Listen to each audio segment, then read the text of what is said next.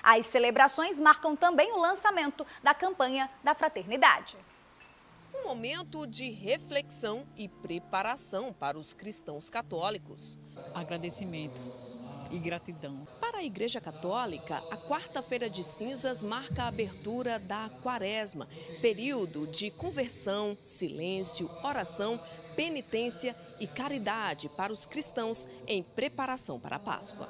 A quaresma para mim é renovação, né? o tempo litúrgico que a igreja tem para nos preparar para a Páscoa, é a renovação, é o tempo que a gente tem para fazer doações, para ter uma comunhão melhor com Deus. Durante as celebrações é realizado o rito de imposição das cinzas, que são símbolo da fragilidade humana e um apelo à conversão. A quaresma toda nos prepara para vivenciarmos esse momento da ressurreição do Senhor e nós que através do batismo fomos mortos ao pecado e salvos no ressuscitado, nós nos tornamos assim mensageiros desta vida nova que é o próprio Cristo ressuscitado. Por isso que a quaresma é um tempo bem especial que nos convida a vivenciarmos essa experiência de conversão, de reconhecer a nossa vida como um caminho que precisa cada dia se direcionando ao Cristo, que é o nosso Salvador. Na Catedral Metropolitana de Natal são realizadas quatro missas, sendo a última celebrada às 19 horas. Além de missas e programações em todas as paróquias da capital e interior, o dia também marca a abertura da campanha da fraternidade, que tem como lema este ano: Vós sois todos irmãos e irmãs. Esse ano o tempo Francisco Fratelitudo e o Papa chama isso de amizade social, a campanha da fraternidade. Né, como o padre falou, então assim, vamos repensar mais um pouquinho, Agora a gente muda de assunto porque dois detentos conseguiram fugir do presídio federal de Mossoró, considerado de segurança máxima. A repórter Natália Rebouça conta os detalhes direto da redação da TCM para a gente a partir de agora. Boa tarde, Natália. Boa tarde a você que acompanha o Jornal do Dia da TV Ponta Negra. A gente começa a quarta-feira de cinza, após o período de carnaval, com essa notícia que movimenta todo o noticiário nacional que é a primeira fuga registrada no sistema penitenciário brasileiro que aconteceu em Mossoró. A informação é de que dois presos do sistema penitenciário aqui do Presídio Federal de Mossoró conseguiram fugir na manhã desta quarta-feira. Tratam-se de Davidson Cabral Nascimento, de 34 anos, e do Rogério da Silva Mendonça, de 36 anos, ambos naturais de Rio Branco, no Acre, pertencentes a uma facção criminosa daquele estado. Eles chegaram a Mossoró em setembro de 2023, setembro do ano passado, e respondiam a alguns processos, a vários processos, na verdade, aí, inclusive acusados de liderar até rebeliões lá no presídio, na, no, no estado do Acre. E aí, esse, esse caso dessa fuga ainda não foi confirmado pela direção do sistema penitenciário, pela direção do Presídio Federal aqui de Mossoró. E até agora não se sabe qual o paradeiro ou se tem uma informação oficial de como aconteceu essa fuga aqui no Presídio Federal de Mossoró. A gente vai continuar acompanhando esse caso aqui na cidade. A gente traz informações também sobre o número de títulos cancelados, títulos eleitorais aqui de Mossoró que foram cancelados e que isso inviabilizaria, inclusive, a realização do segundo turno das eleições em Mossoró, porque, de acordo com a lei eleitoral, o município, uma cidade, para ter segundo turno, precisa ter mais de 200 mil eleitores. E Mossoró, com esses títulos cancelados, teriam aproximadamente 180 mil títulos eleitorais, o que não permitiria a realização de segundo turno nas eleições aqui de Mossoró. Essas são as informações nesta quarta-feira de cinzas aqui da região oeste. Eu volto com você nos estúdios. Muito obrigada pelas informações, Natália, direto da redação da TCM lá em Mossoró. E ainda em relação à fuga no Presídio Federal, as secretarias de Segurança e de Administração Penitenciária do Estado informaram que estão dando total apoio ao sistema prisional federal, inclusive com emprego de patrulhamento aéreo por meio do helicóptero Potiguar 02, que está em Mossoró, enquanto o Potiguar 01 permanece aqui em Natal. Informaram também que o governo do Estado já fez contato com as secretarias de Segurança da Paraíba Paraíba e também do Ceará para a realização de ações integradas de reforço policial nas divisas entre os dois estados. Os potiguares estão voltando para casa após os dias de folga durante aí o carnaval. A Polícia Rodoviária Federal orienta os motoristas sobre os cuidados para evitar acidentes nas estradas do Rio Grande do Norte. E a repórter Juliana Lobo explica mais detalhes para a gente ao vivo a partir de agora. Boa tarde. A expectativa é de movimento mais intenso nas estradas, não é isso, Juliana? Boa tarde. Boa tarde, Vanessa. Boa tarde a todos. Isso mesmo, o movimento nas estradas nessa quarta-feira de cinzas realmente é mais intenso, não só no Rio Grande do Norte, mas em todo o país. Né? As pessoas estão retornando aí dos carnavais nos interiores do estado. A gente sabe que o Rio Grande do Norte tem uma tradição muito boa nos carnavais do interior, né? Caicó, Apodi, Açu fizeram grandes carnavais esse ano. Também tem a região lá do, do oeste, né? Tibau, enfim, muita gente viajou, saiu de Natal e foi para o interior para curtir esse carnaval e está retornando agora nessa quarta-feira de cinzas né, aos trabalhos. Então, as orientações da Polícia Rodoviária Federal são as básicas, né?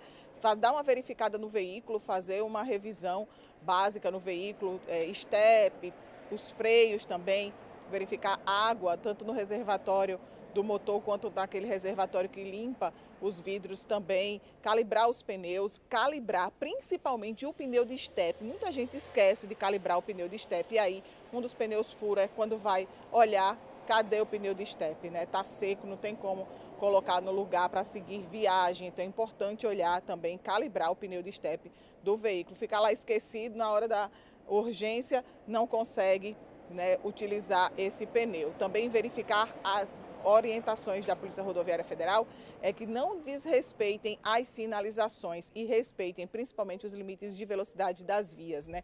Não ultrapassar em faixa contínua, respeitar sempre os limites de velocidade das vias. Existem muitos pardais né, espalhados. Os pardais são aquelas fiscalizações eletrônicas de velocidade nas RNs e também nas BRs aqui do Rio Grande do Norte. Então, para não ter aquela multa salgada, é bom ficar de olho aí e respeitar as sinalizações e os limites de velocidade. Também utilizar os equipamentos de segurança para os motociclistas, né, o capacete de forma legal, né? Tem que afivelar o capacete e baixar a viseira do capacete. Lembrando que se não baixar a viseira do capacete também leva multa. E se tiver com um capacete reserva, deixar sempre no banco de trás do, do, do da motocicleta, não utilizar o capacete no, no braço, né, transportar no braço, porque isso também é motivo de multa. No veículo, todos os passageiros precisam utilizar cintos de segurança, tanto na frente quanto atrás. E as crianças precisam estar acomodadas nas cadeirinhas para evitar acidentes também. A Polícia Rodoviária Federal informou que nessa quarta-feira de cinza, o número de emergência da Polícia Rodoviária, que é 191, está inoperante por problemas técnicos, mas disponibilizou um outro telefone, que é o 994 50 5533. Vou repetir, 84 99450 5533. Inclusive, esse é o número do Disque Denúncia da Polícia Rodoviária Federal. Quem tiver alguma denúncia para fazer, pode ligar para o 84 99450 5533 e verificar também as orientações pelo Instagram da Polícia Rodoviária Federal, que é PRF-RN. Vai lá também, esse número que eu acabei de dar está lá disponível no Instagram da Polícia Rodoviária Federal. Seguindo todas as dicas, vindo devagarzinho. Se beber, não dirigir também, né? Isso aí é o básico. Às vezes as pessoas esquecem, bebem um negocinho, vai almoçar, toma ali um negocinho e acaba dirigindo. Lembrando que a multa para quem for pego bebendo e dirigindo é de mais de 3 mil, quase 3 mil reais e ainda a suspensão do direito de dirigir. Então é bom não se arriscar. Seguindo todas as, essas orientações, o retorno para casa com certeza vai ser em segurança para completar aí esse período de felicidade que foi o carnaval. Vanessa. Né? Não só pela multa, mas também para proteger a vida, que é o mais importante. Muito obrigada por todas as informações, Juliana Lobo, né? Esclarecimentos que a gente já sabe, mas não custa reforçar, né? E olha, agora vamos saber quais são os destaques do nosso portal pontanegranews.com.br. Direto com Bia Ribeiro, que já está aqui com a gente. Muito boa tarde, Bia. Oi, Vanessa. Ótima tarde para você e para todo mundo que está acompanhando o Jornal do Dia. E eu começo falando sobre um condutor de 39 anos que foi flagrado em estado de embriaguez transportando o próprio filho de 10 anos em uma motocicleta. Ele foi autuado também com base no Estatuto da Criança e do Adolescente e se encontra à disposição da Justiça a fim de ser submetido a, a uma audiência de custódia. Outro destaque é que a Caixa Econômica Federal começa a pagar amanhã o abono salarial do PIS-PASEP de 2024. O benefício no valor de até um salário mínimo será liberado aos nascidos em janeiro com número final de inscrição zero. A estimativa é que aproximadamente 24,5 milhões de trabalhadores recebam o um abono salarial esse ano. E eu vou encerrar falando sobre os pontos extras de vacinação em Natal que retomam um funcionamento hoje.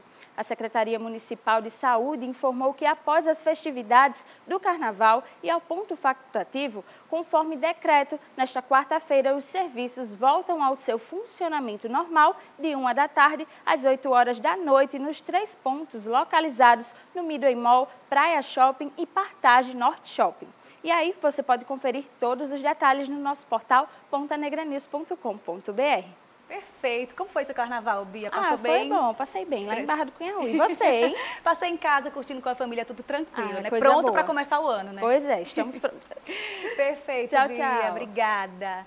E olha, em instantes, blocos dos Garis e Baiacu Navara arrastam foliões na Ridinha em plena quarta-feira de cinzas.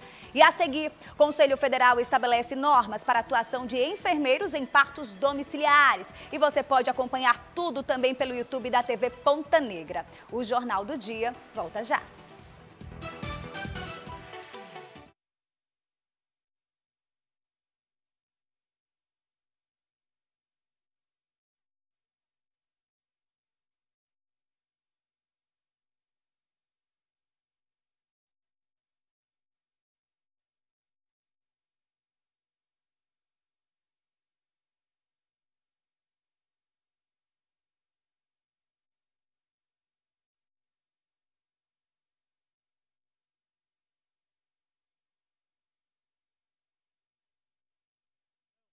Aproveitar. O talento, a força, a paixão e a sorte entram em campo para uma das maiores disputas do esporte brasileiro, Copa do Nordeste. Nove estados, 28 clubes e milhões de torcedores vibrando uma só paixão, o futebol. Aqui, todo mundo joga em casa, porque o Nordeste é uma casa só. Casa de Apostas, a casa de apostas do Brasil e do brasileiro.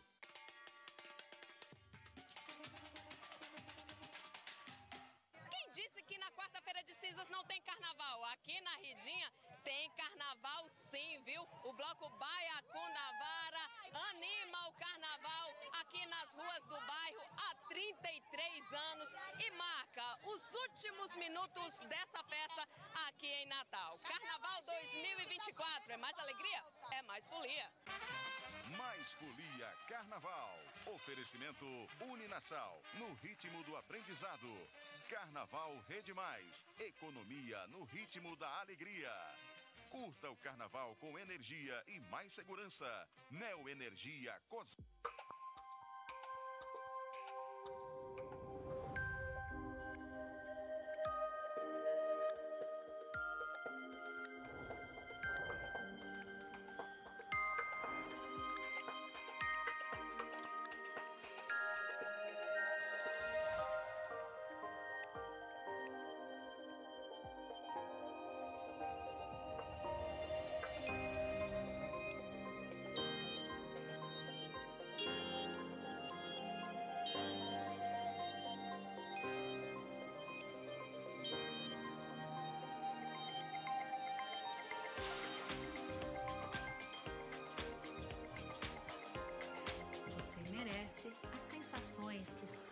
só um diamante é capaz de despertar.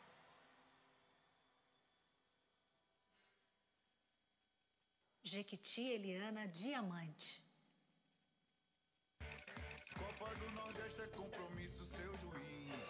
É um a um do mar de gente que me diz. Não é aqui, hoje é lá, eu de pijama. Dentro de casa, no sofá, sentindo dama. Escuto o som do grito, é o gol.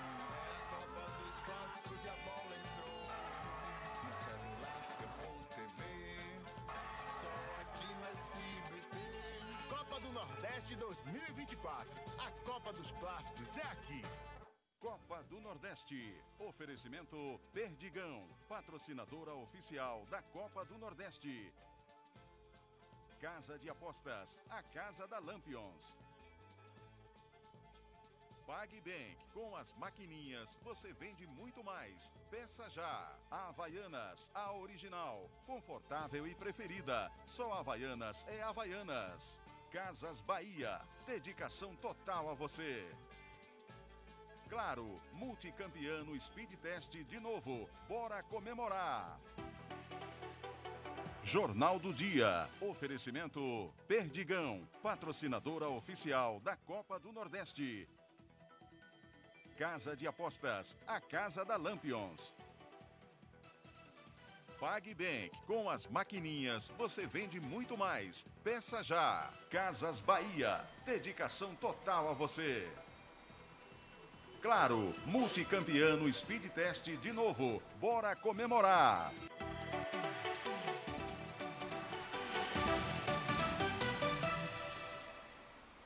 De volta com o Jornal do Dia. O Conselho Federal de Enfermagem estabeleceu normas para a atuação de enfermeiros obstétricos no parto domiciliar planejado. A resolução autoriza e orienta a participação dos profissionais e também estabelece os equipamentos necessários ao procedimento. Aira, mamãe de primeira viagem, registrou tudo. Foram 10 horas em trabalho de parto para dar à luz ao pequeno Liam. Um processo que ela decidiu que seria em casa. Pela segurança, assim, o acolhimento de ter em casa, né? Uma breve pesquisa, assim, a gente já consegue entender que o risco de infecção, tanto hospitalar quanto ter em casa, é praticamente equivalente. A diferença é que você tendo em casa, você já tem os anticorpos, está acostumado com aquelas uhum. bactérias. Então, eu já passaria para ele os anticorpos necessários. Eu sempre tive a certeza de que eu pariria em casa.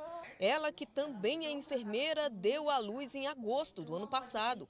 Quando o pai soube que o parto seria domiciliar, até teve dúvidas, que logo desapareceram. Receber ele assim nos meus braços, bem escorregadinho, peguei ele, consegui pegar ele parar ele. Depois bateu um pico de adrenalina, né? Fiquei muito emocionado. Aí, acho que tem até a foto, né? Dei para minha esposa, ela ficou naquele estado tipo de choque, né? Mas foi um momento incrível.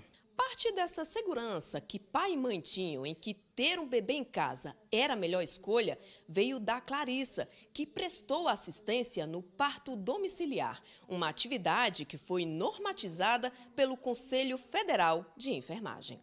Essa normativa ela vem para nos dar um respaldo, para validar aquilo que a gente já faz. Né? Além da avaliação clínica, avaliação laboratorial, solicitação de exames, né? realização de exames, a assistência integral ao parto, ela nos traz um dispositivo de diálogo com as políticas públicas, com os órgãos, com as prefeituras, com as secretarias de saúde, para que a gente possa garantir que isso seja mais seguro para a mulher. No caso de uma transferência, por exemplo, eu já posso entrar em contato com aquela equipe, com aquela instituição, eu estabelecer protocolos para isso. Então, vai facilitar e garantir um direito de escolha da mulher. A resolução publicada no Diário Oficial da União, além de autorizar e orientar a participação dos profissionais, estabelece os equipamentos necessários ao procedimento. A própria Lei do Exercício Profissional, a Lei 7.498, já traz essa atribuição de assistência ao parto é, como uma atribuição do enfermeiro. E com essa resolução, o Conselho Federal ele traz toda uma, uma, uma norma técnica, colocando inclusive os cuidados que o profissional, é, enfermeiro obstetra ou obstetriz, tem que ter para essa assistência ao parto.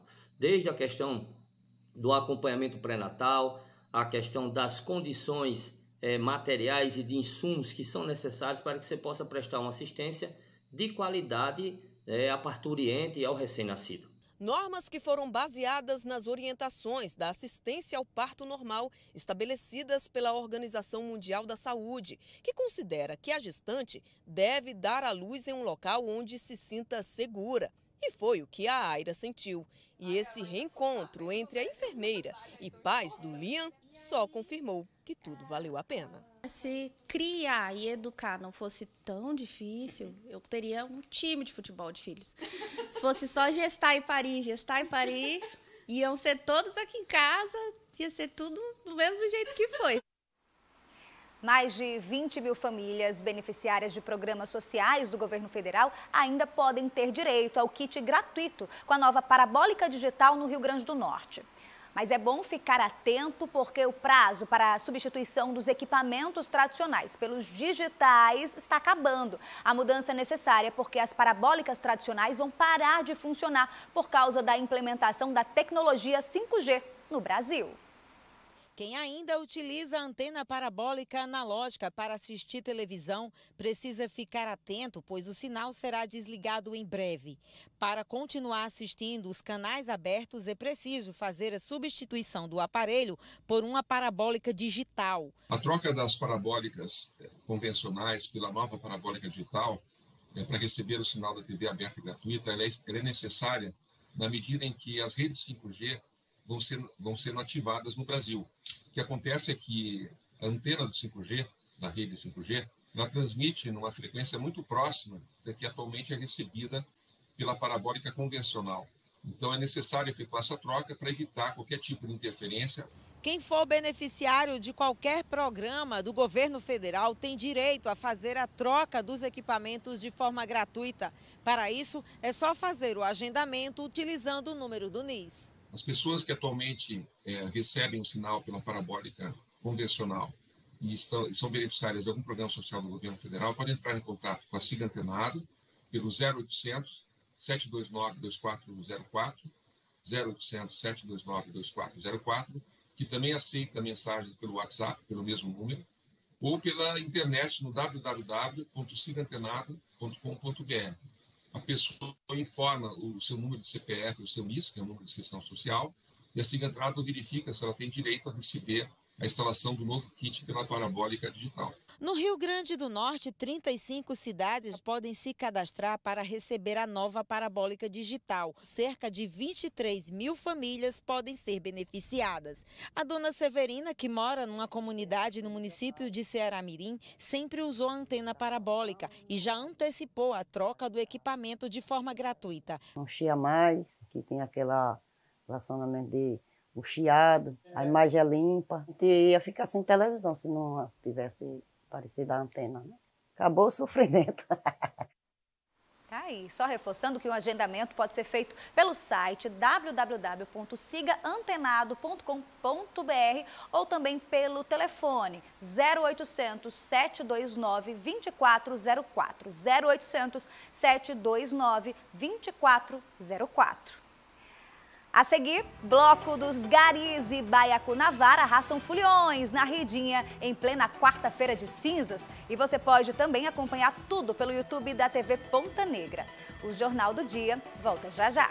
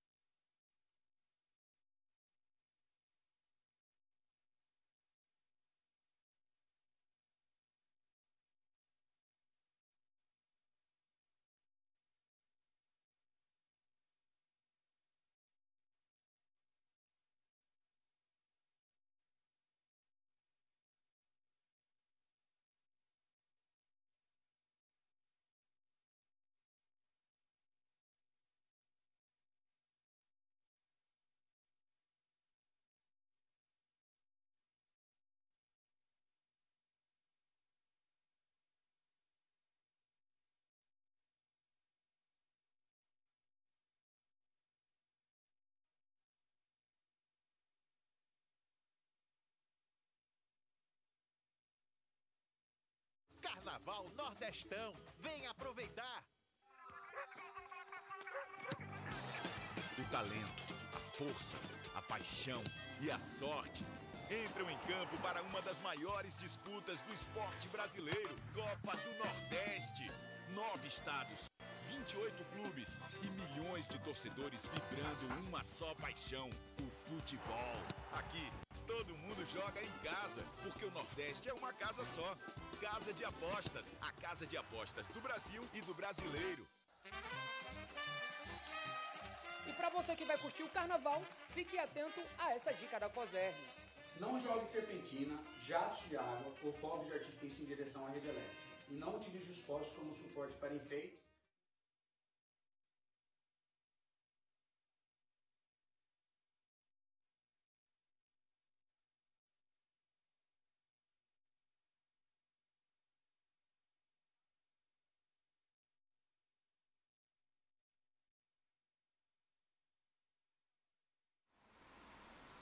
Meu Deus, esse cabelo aqui eu vou arrancar ele, viu, hoje?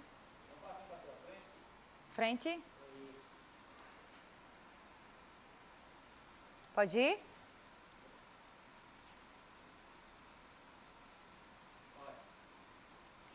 Olá, não perca no Jornal do Dia. Governo organiza a distribuição de vacinas contra dengue para municípios potiguares. E tem comentários políticos e muito mais logo após o Patrulha.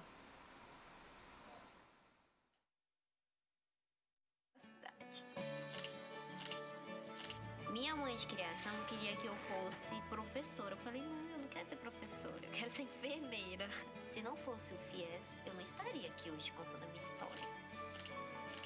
É, meu pai adoeceu, veio a pandemia, por isso que eu deixei de pagar o FIES. Quando eu soube da renegociação, foi maravilhoso. Para ajudar mais de um milhão de brasileiros endividados com fiéis, o governo federal, por meio do Ministério da Educação, criou o Desenrola Fiéis, que concede descontos de até 99% no saldo devedor. Faça uma simulação pelo aplicativo do Banco do Brasil ou da Caixa. Quantos caminhos por aí não existem, né? Não é só eu. Ministério da Educação, Brasil. União e Reconstrução, Governo Federal. Jornal do Dia. Oferecimento Perdigão, patrocinadora oficial da Copa do Nordeste. Casa de Apostas, a Casa da Lampions. PagBank, com as maquininhas você vende muito mais. Peça já. Casas Bahia, dedicação total a você. Claro, multicampeano Speed Test de novo. Bora comemorar.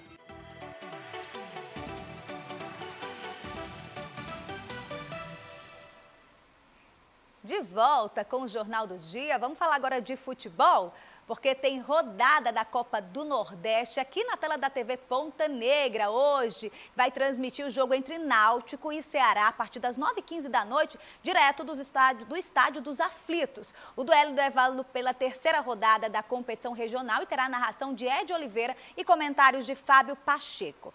Amanhã é a vez dos times potiguares entrarem em campo também pela Copa do Nordeste. O ABC vai enfrentar o Botafogo da Paraíba às 7 horas da noite. Esse confronto vai ser em casa, no estádio Frasqueirão. Já o América joga fora de casa contra o Bahia às 8 da noite na Arena Fonte Nova, em Salvador. Lembrando aí que o América ainda não pontuou no grupo A, precisa se recuperar aí nessa competição. O ABC só tem apenas um pontinho, também está precisando ali se recuperar, mas o grupo né, do ABC está bem mais fácil ali dele conquistar uma vitória e quem sabe já garantir a liderança. Claro que todos os detalhes a gente traz amanhã no Arena, às 11 da manhã. Agora vamos falar de carnaval em Caicó. Os foliões aproveitaram os shows até os últimos minutos. O último dia de carnaval aqui na cidade de Caicó foi marcado pelo clima nublado e chuvoso. Os foliões saíram às ruas para acompanhar a passagem dos blocos. E um dos artistas mais esperados do Carnaval 2024, o cantor Felipe Amorim, se apresentou nesta terça-feira aqui no Pedacinho do Céu.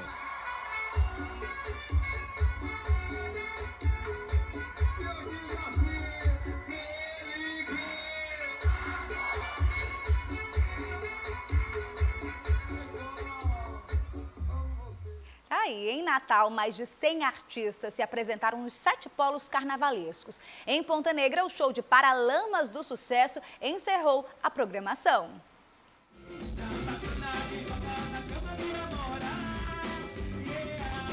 O último dia de festa do Carnaval e Natal e nem a chuva atrapalhou a folia. A energia ainda tomava conta dos foliões, que pareciam estar com a bateria carregada e curtiam os últimos momentos da festa. Como boa pernambucana que ficou em Natal, a gente tem pontapé inicial das apresentações no Polo Ponta Negra desta terça-feira foi a cantora Ana Lu Soares, artista da terra. Logo em seguida, foi a vez da banda baiana Olodum, trazendo axé e músicas afro. A música do Olodum hoje ela é uma música universal. Graças a Deus, onde nós vamos, né, tem sempre alguém lá nos esperando. Isso é muito bom. A ansiedade tomava conta do público na expectativa de ouvir o rock do Paralamas do sucesso. Nada melhor do que curtir Paralamas em Natal, é bom demais. É uma banda que eu gosto muito, minha adolescência e até hoje eu gosto de curtir a banda. A banda de João Pessoa e eu sou de lá, moro aqui há 10 anos e vim rever meus conterrâneos. O carnaval está cada vez mais diversificado, né? Então tem espaço para as bandas também de rock. Então a gente está aqui pegando uma marola aí nessa festa, né?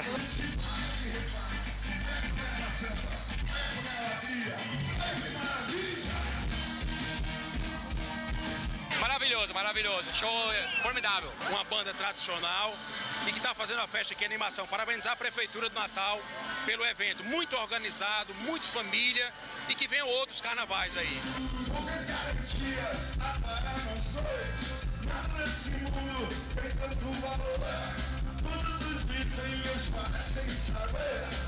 Você. Tá aí, né? Um carnaval bem diversificado para agradar todos os gostos e estilos. E na Redinha ainda tem carnaval em plena quarta-feira de cinzas. Os blocos dos Garis e Baiacunavara arrastaram os foliões pelas ruas da praia. A festa nas ruas da Ridinha hoje começou com o bloco dos garis.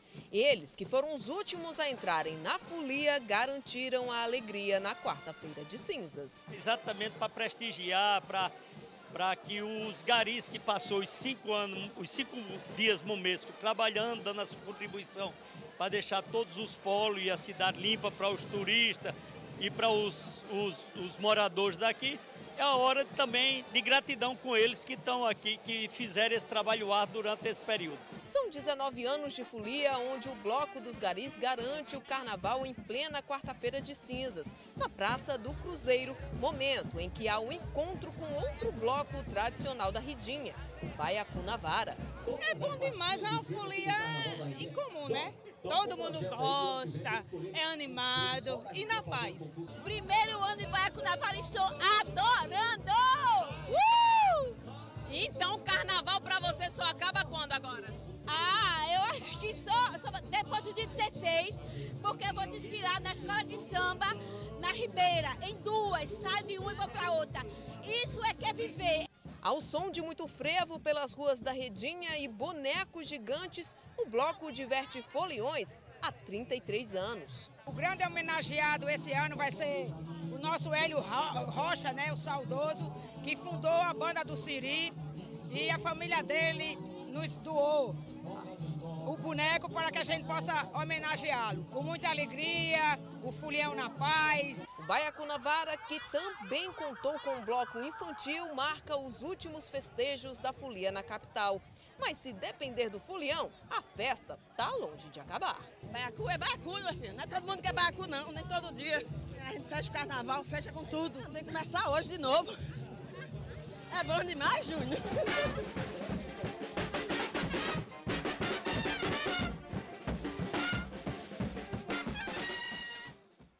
Tá aí, é muita animação, haja pique para aguentar tanta folia.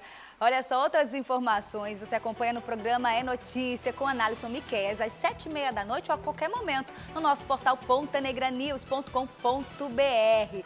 E você pode acompanhar ou rever toda a programação no YouTube da TV Ponta Negra. Muito obrigada pela sua audiência, uma ótima tarde e até amanhã. Amanhã o Jornal do Dia volta logo após o Patrulha. thank you